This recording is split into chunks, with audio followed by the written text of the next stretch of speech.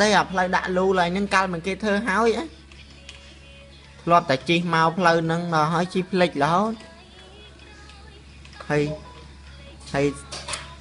អៀងវិឆ័យនេះជិះតាមផ្លូវណាមកហ្នឹងជិះច្រឡំអត់ខ្ញុំច្រឡំមកអាឡ័យហ្នឹងរហូតបើអញ្ចឹងបត់តាំងអាផ្លូវអាកើតស្តុបហ្នឹងយូរ